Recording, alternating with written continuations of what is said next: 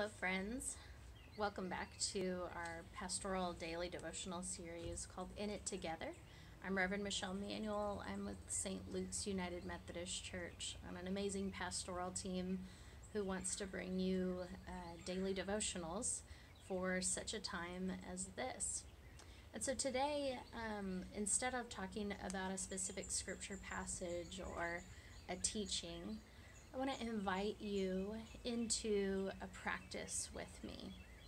Um, I have found that it's a little bit easier when times are sort of chaotic to try to find some points in life that ground me. We can all tritely say, well, God is our anchor and I'm grounded in God, and that is true, but God invites us into spiritual practices that can be physical markers in our lives in order to bring order amidst chaos. And so um, at this beginning of this Lent, I picked up a practice that I practiced all last year, but kind of fell out of as the new year came, called praying the daily offices. Some of you may be familiar with this prayer practice already.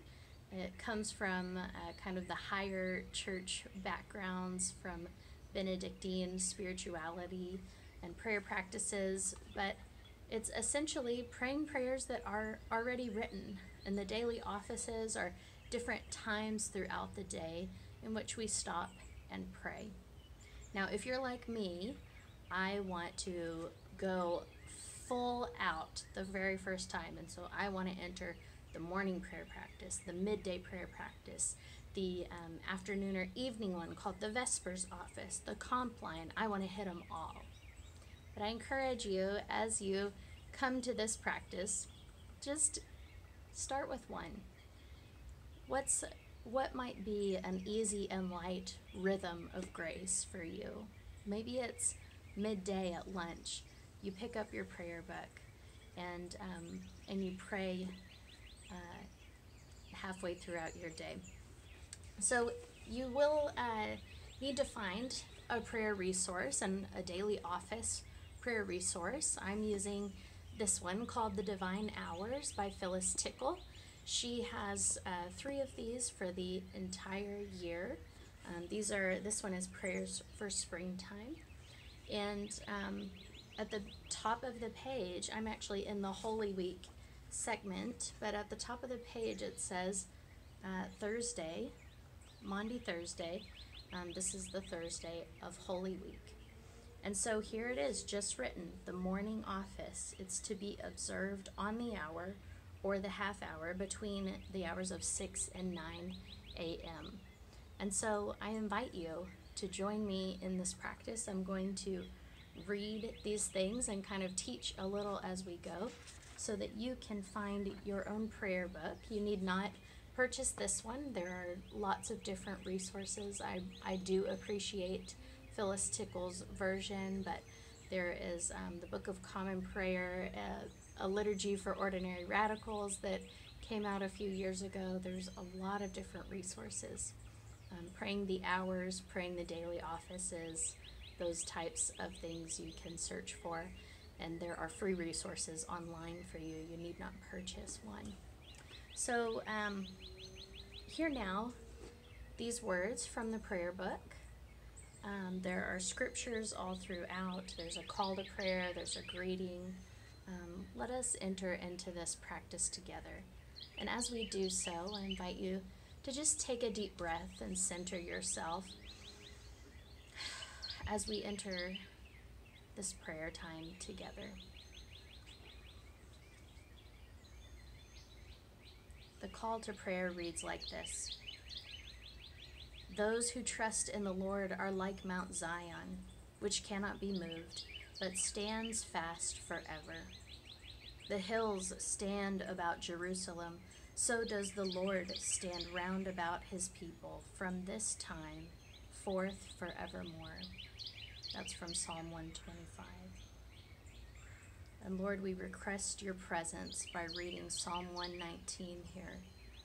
Make me understand the way of your commandments, that I may meditate on your marvelous works. Remember your word to your servant, because you have given me hope. This is my comfort and my trouble, that your promise gives me life. And the morning lesson is from John 14, verse 1. Jesus says, Do not let your hearts be troubled. You trust in God, trust also in me. And now for a reading. Before the festival of Passover, Jesus, knowing that his hour had come to pass from this world to the Father, having loved those who were in this world, loved them to the end. They were at supper, and the devil had already put it into the mind of Judas Iscariot, son of Simon, to betray him. Jesus knew that the Father had put everything into his hands, and that he had come from God and was returning to God. And he got up from the table, removed his outer garments, and taking a towel, he wrapped it around his waist. He poured water into a basin and began to wash the disciples' feet, and he wiped them with the towel he was wearing. He came to Simon Peter, who said to him, Lord, are you going to wash my feet?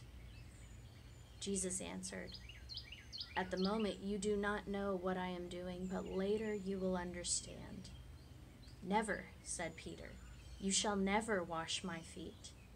And Jesus replied, If I do not wash you, you can have no share with me. Simon Peter said, Well, then, not my feet, but my hands and my head as well. And Jesus said, No one who has had a bath needs washing. Such a person is clean all over. You too are clean, though not all of you are. He knew who was going to betray him, and that was why he said, Though not all of you are. When he had washed their feet and put on his outer garments again, he went back to the table.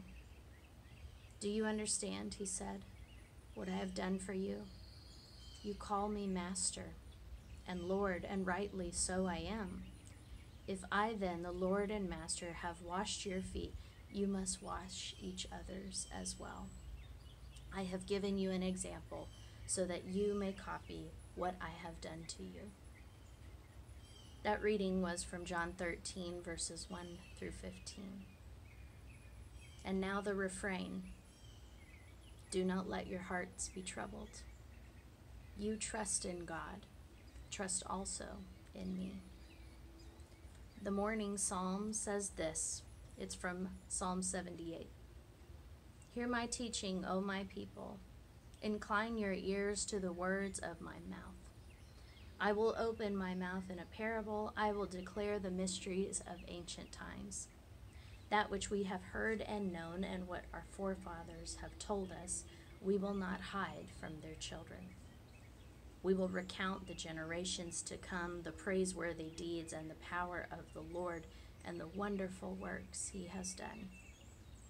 He gave his decrees to Jacob and established a law for Israel, which he commanded them to teach their children, that the generations might come to know, and that the children yet unborn, that they in their turn might tell it to their children, so that they might put in their trust God, and not forget the deeds of God, but keep his commandments and not be like their forefathers, a stubborn and rebellious generation, a generation whose heart was not steadfast and whose spirit was not faithful to God.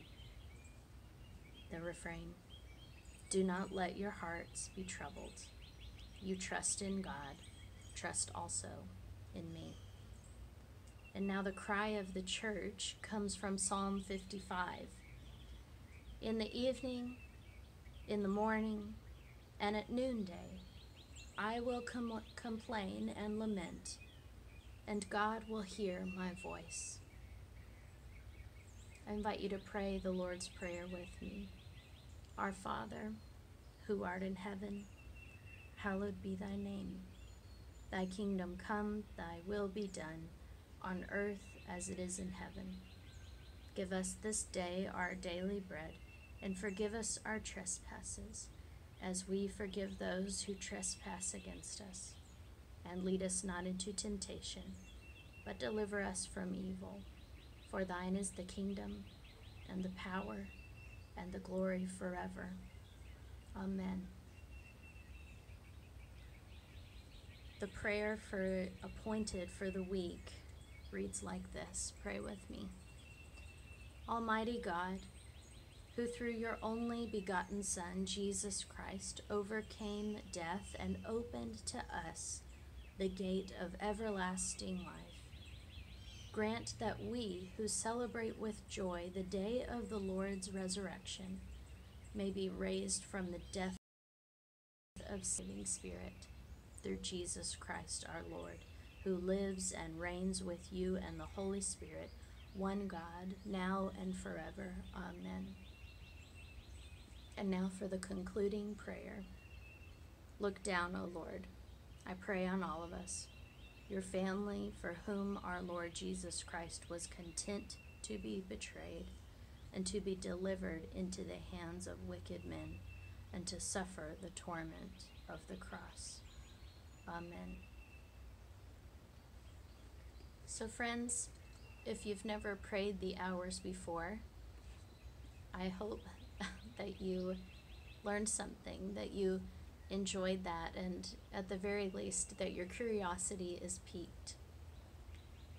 Sometimes we enter a prayer practice or a spiritual discipline and we work really hard at it. But I've found, as someone who works hard to help others pray and works hard to help others study Scripture, I have found that praying the hours is an easy and light rhythm. It's a grace that reaches me, that's already there for me to but receive it and pray it aloud.